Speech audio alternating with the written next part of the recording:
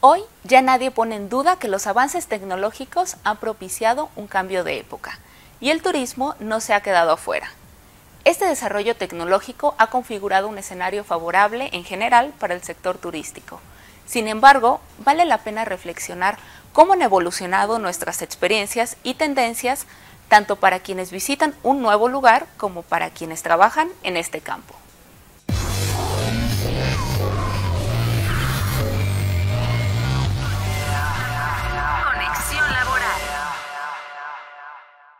Bienvenidas y bienvenidos. Yo soy Karen Robles y esto es Conexión Laboral. El mundo digital nos ha alcanzado en todos los aspectos de nuestra vida. Ahora, cuando sentimos curiosidad por un lugar, lo primero que hacemos es recurrir al Internet.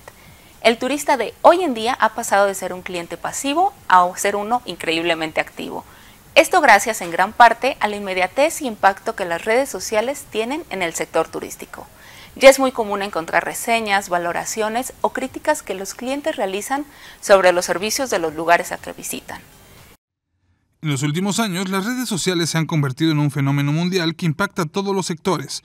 Hoy, las plataformas digitales permiten compartir momentos de la vida diaria, crear espacios para la información, hacer compras e incluso interactuar con amigos en tiempo real.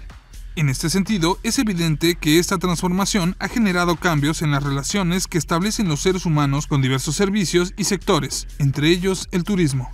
Las redes sociales han supuesto un cambio en la forma de entender el turismo, tanto por parte de los usuarios como por las empresas, quienes se han visto obligadas a desarrollar nuevas e innovadoras estrategias a través de dichas plataformas.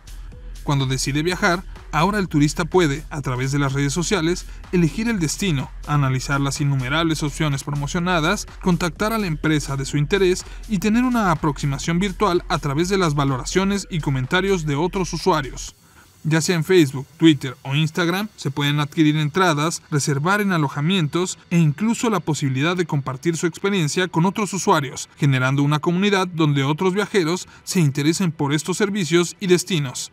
Asimismo, el turismo, a través de las plataformas digitales, adquirió mayor relevancia con la pandemia por el COVID-19, por lo que dicho sector tuvo que buscar alternativas de esparcimiento para las y los viajeros. Claro ejemplo son las empresas turísticas que ofrecen a las y los viajeros visitas virtuales, herramientas de interacción y promociones especiales, revolucionando con esto la forma en la cual entendemos y realizamos nuestros viajes de placer o negocios. Sin lugar a duda, las redes sociales ocupan hoy un lugar privilegiado en el sector turístico, gracias a las innumerables oportunidades que se ofrecen a los aventureros que deciden organizar un viaje. Con esto, es claro que el turismo en redes sociales es el futuro de este sector. Aunque hemos de reconocer que no se iguala a la experiencia real, visitar atracciones turísticas de manera virtual ya es posible desde la comodidad de tu casa. Diversos sitios y museos ofrecen la oportunidad de conocerlos a través de nuestro celular o nuestra computadora. Tan solo con un clic podemos desplazarnos por sus salas, saber cómo suenan, hasta ver mucho más de cerca sus detalles. Esto también ha sido un paso muy importante para la venta de servicios turísticos, ya que nos permite conocer con anterioridad las instalaciones de los lugares que visitamos, los paquetes o servicios para planear mejor nuestro itinerario y, claro, endulzarnos la mirada. El turismo y la tecnología están más ligados de lo que pueda parecer a simple vista. Para empezar, el turismo de masas sería imposible sin las tecnologías de transporte que hacen posible viajar de un lugar a otro del planeta en cuestión de horas.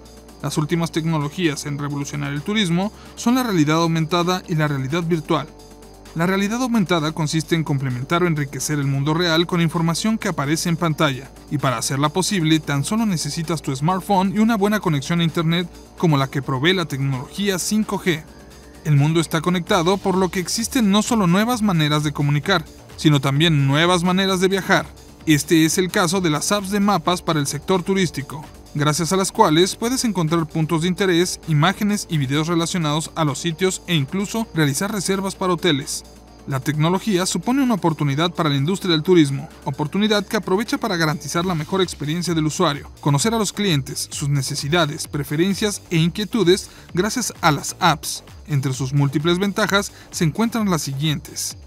Turismo desde casa, El turismo muchas veces requiere de un gran esfuerzo económico para desplazarnos al lugar donde se encuentran los museos, parques arqueológicos o monumentos destacados. En ocasiones, son espacios que, por su uso original, no esperaban una gran afluencia de gente o ni siquiera contemplaban la posibilidad de ser visitados. Con la realidad virtual, la fotografía y la digitalización de los museos, podemos visitar desde cualquier parte del mundo todos estos espacios de manera inmersiva. Lugares imposibles. Además de todas las problemáticas que ya hemos visto para visitar ciertos lugares, existen otro tipo de impedimentos. Turismo extraterrestre. No solo podemos encontrar tours por la superficie lunar o marciana, sino que además la NASA pone a nuestra disposición una experiencia única. Con la tecnología 360 también es posible probar un viaje antes de hacerlo realidad, recorrer una ciudad viéndola como era hace un siglo, visitar un museo en el que las piezas se mueven o reflejan lo que muestran animadamente. En definitiva, el turismo y la tecnología siempre han ido de la mano y ahora más que nunca podemos planear, vivir y enriquecer cualquier viaje al alcance de un clic. Como pudiste ver, la llegada de las aplicaciones digitales ha revolucionado al sector turístico. Sin embargo, esto no ha sustituido la atención cara a cara. Los profesionales del turismo también han tenido que adecuarse a las nuevas tendencias de consumo y alternativas que agreguen un plus a su trabajo. Para la entrevista de hoy, platicamos con un profesional para conocer más a fondo cómo ha sido su experiencia como turistólogo adecuándose al mundo digital. Vamos a verlo. Hola, pues me llamo Francisco Javier Cabral Viñola.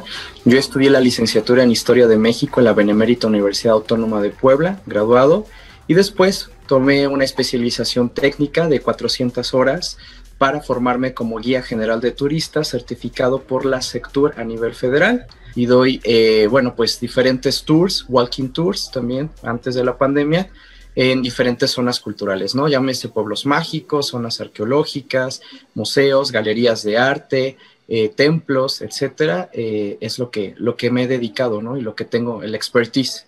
Pues mira, todo depende mucho de cómo cuentas la historia. A veces, este, tanto el público latinoamericano, eh, que es el, eh, también el mexicano, luego a veces somos renuentes a aprender o a conocer sobre historia, sobre arte, etcétera, debido a cómo nos los enseñan desde la escuela, ¿no? Pero creo que cuando encuentras un punto de interés en las personas y cuando haces un dinamismo más interesante de cómo poder contar la historia de diferentes perspectivas, pues es cuando la gente ve el valor agregado. Entonces, a través de la tecnología con esta situación pandémica, pues bueno, eh, he utilizado, por ejemplo, la realización de tours virtuales, ¿no? O sea, yo de manera independiente eh, me pidieron colaborar eh, cierto tiempo, durante más de un año, una revista digital que está en sede en Ciudad de México, se llama Revista Souvenir, estuvimos colaborando todo el 2020 y bueno, pues yo realicé a través de, estas plataformas como Zoom, a través de cierta tecnología que manejaba la revista para mostrar fotografías de 180 grados con visión tridimensional espacial, tipo Google Earth. Eh, bueno, pues bueno, eh, yo daba la información, ¿no? Y el, valor agregado que, yo di siempre es más allá de la información que pueden conseguir en Wikipedia y en cualquier eh, página web o revista, pues yo daba precisamente las experiencias personales, las leyendas poco conocidas, este, los lugares o comparar precisamente qué hay en Ciudad de México y cómo se relaciona con Puebla, ¿no? Entonces hice un puente cultural, una relación entre nuestra capital y entre Puebla, ¿no? Yo creo que lo que uno, bueno, en mi, caso particular, lo que yo trato de hacer, sea presencial o sea digital, es tener un contacto, hacer un match con el cliente, con el turista. Es decir, yo estoy en el, yo estoy en mi filosofía personal en donde quiero hacer una experiencia, no nada más quiero dar datos este, alternos, quiero hacer una experiencia para que la persona que me está contratando se sienta cómoda, esté feliz, entienda lo básico para poder entender lo que está visitando, lo que está conociendo. No, no es una clase de historia en donde tienen que memorizar, o sea, yo quiero que el visitante tenga la experiencia de vivenciar de, wow, este, este templo está muy bonito por esto, esta comida se hizo así y me encantó, eh, Puebla tiene esta importancia por esto, por esto. Tengo una pequeña comunidad que le gusta más eh, en Instagram, en donde este, sí hay personas leales a mí que les encanta pues mi, mi, mi, propuesta eh, visual, que es más visual que audiovisual, en donde voy fotografiando un escenario ya sea arquitectónico o natural de los lugares que voy este, visitando y trabajando y siempre pongo una leyenda, entonces van entendiendo las personas eh, qué tipo de tours hago y sí he tenido, como te digo, la oportunidad de ser convocado desde Instagram para que yo les dé el tour y sobre todo en estos momentos pandémicos, pues este te digo, o sea, dos tour operadoras digitales me pidieron que diera este, recorridos virtuales. Una fue Team Locals, que está en sede en Estados Unidos, pero sus fundadores son de Ucrania, y otra es este, otra empresa que viene de Egipto, ¿no? Entonces, este, es muy interesante cómo eso. Y a través del Facebook, yo lo que hago es también eh, tengo ya también una pequeña comunidad en donde, además de las fotografías, también voy publicando lo que hago como la parte académica, ¿no? Además de ser guía de turistas, también he publicado un artículo en una revista digital que se llama Arqueopatías, que trata sobre patrimonio, arqueología, antropología. Hablé sobre la casa de Alfinique y los símbolos que están ahí en, el museo, que parecen como merengue, esos símbolos religiosos, hablé sobre ellos. Entonces fue una, una charla muy interesante. He participado también digitalmente en charlas en, la Casa de Cultura de Tlalpan, eh, de la Casa de Cultura de la Universidad Autónoma del Estado de México hablando precisamente de la casa de Alfeñique, hablando también sobre este, la tradición de los muertos en las ofrendas de Huaquechula. Entonces, las redes sociales eh, me han permitido poder exponer mis artículos, mis avances, eh, también mis charlas virtuales, mis tours virtuales y darme a conocer, ¿no? El tour virtual está interesante porque eh, lo ves, lo, puedes dimensionar, entonces tú ya tienes un contexto y cuando ya vienes conmigo en presencial, ya puedo partir de ese contexto y puedo explicarte más cosas, porque pues la historia no nada más es un discurso único, ¿no? O sea, hay varias, varias cosas, varias raíces que yo puedo brindarte, ¿no? Y sin necesidad de ser aburrido, sino simplemente como explicar la importancia de nuestra capital, de nuestra ciudad. Creo que es una herramienta maravillosa, va a haber ahorita como momentos híbridos, en lo que terminamos de, adaptarnos a la nueva normalidad pero me parece algo excelente, o sea, las cosas, pues, mucha gente habla de cosas negativas, el encierro, el estar aislado, el no convivir con gente, pero creo que cuando esto brinque a lo híbrido, creo que es muy interesante porque podemos dar contextos, podemos dar algo más básico para la gente que tiene bajos recursos y que se le puede invitar a que puedan venir presencialmente, ¿no? Entonces, en síntesis, yo considero que está bien para lo académico, para lo estudiantil. El turismo siempre va a estar en movimiento, en evolución. Y bueno, pues creo que esto va a ser híbrido como algunas otras industrias y pues, pues va a dar beneficios.